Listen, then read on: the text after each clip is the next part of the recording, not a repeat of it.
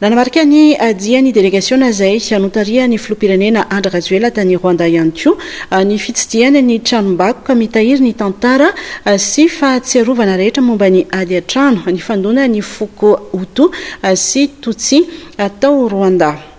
Vola Ravoavy sy tsy Rakotoarison hatrany no mitatitra anao ny vaovao.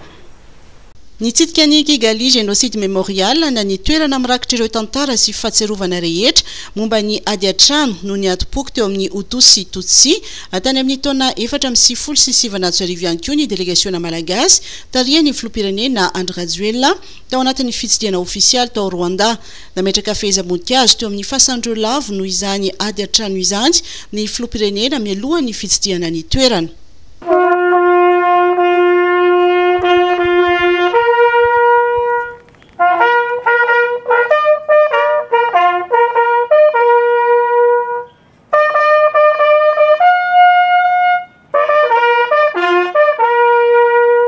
Ampiratiana ao amin'ity tranombakoka ity avokoa ireo tantara, sary, horonantsary, taolam-balo sy fitafiana mifandraika amin'ity ady an-trano tao Rwanda ity.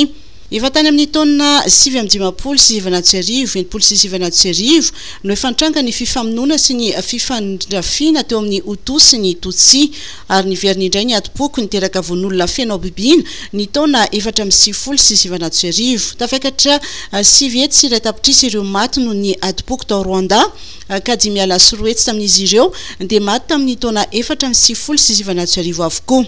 Septennandroada commemoration, et en meme temps septennandroada apprentissage.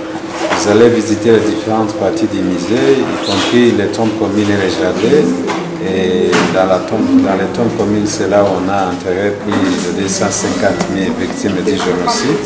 Ankehitriny, vahoaka tsy manaiky ho zaraina intsony sy vahoaka miray hina ireo Rwandey, ary izany firaisankina nasehon'izy ireo izany no nahatonga an'i Rwanda ho nandroso haingana anisan'ireo firenena afrikana modely tsara alain-tahaka i Rwanda ankehitriny.